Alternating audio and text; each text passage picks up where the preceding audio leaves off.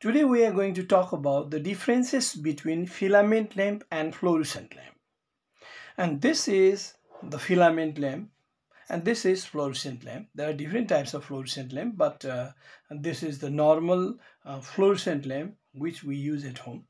And this we are saying this as tube light or mercury tube. This in daily life we are saying just the bulb but this is filament lamp this is fluorescent lamp okay now what are the basic differences between them we don't have to say uh, the shape and size of this because this is the very layman answer layman differences we have to go through the science of filament lamp and fluorescent lamp the difference is first number one we can say that it converts 10% of the total electrical energy. It converts how much? 10% of total electrical energy into what? I'm, I'm writing just the keywords only. 10% of the electrical energy into light energy. But this one, this one converts 30% of the total electrical energy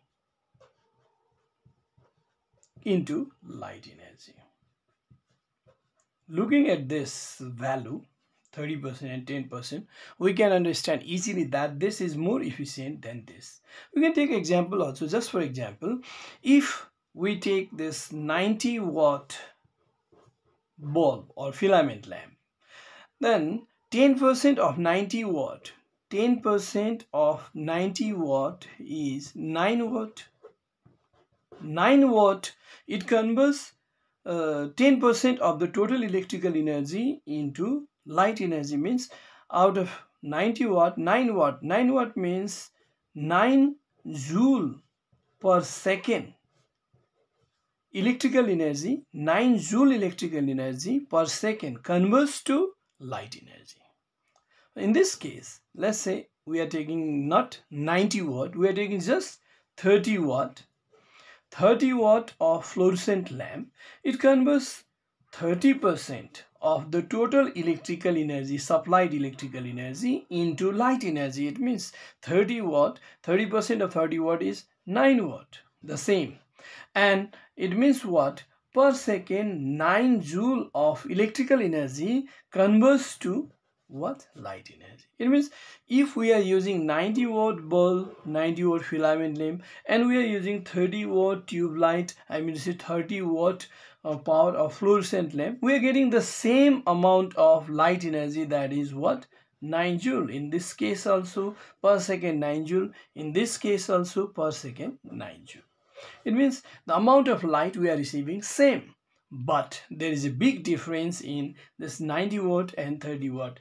It consumes 90 joule electrical energy per second to give the same light but it consumes just 30 joule electrical energy to convert uh, into 9 joule light energy. That's why if we use this one in uh, in a household circuit then it consumes a lot of electrical energy and gives the same amount of light. But if we use this one then consuming less amount of electrical energy it gives the uh, appropriate amount of light. That's why this this will prefer to use at home.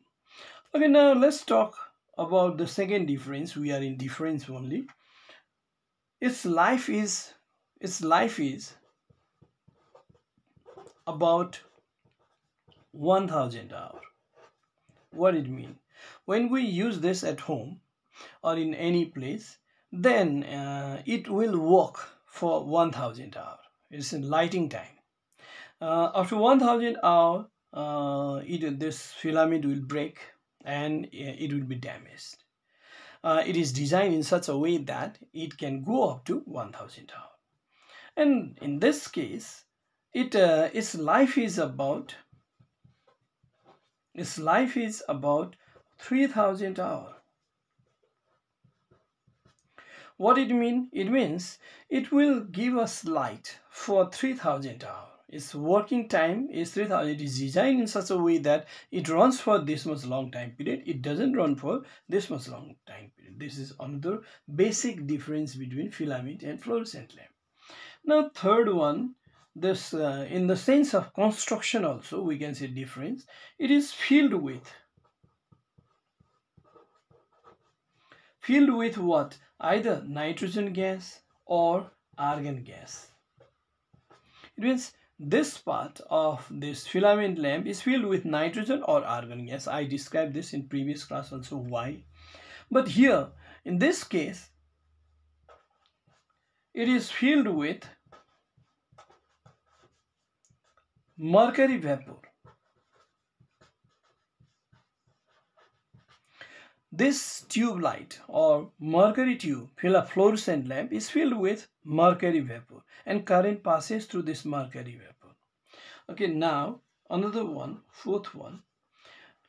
In this case, tungsten converts electrical energy into light energy. Tungsten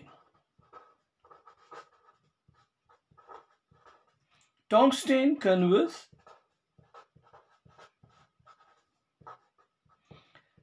electrical energy into light energy. Uh, it means the element of filament lamp is tungsten. But in this case, fluorescent powder converts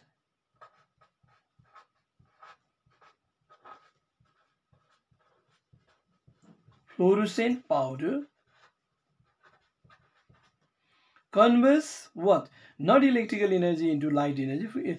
This uh, wall inner wall is uh, coated with fluorescent powder and ultraviolet rays ultraviolet rays ultraviolet rays. It converts fluorescent powder converts ultraviolet rays into light energy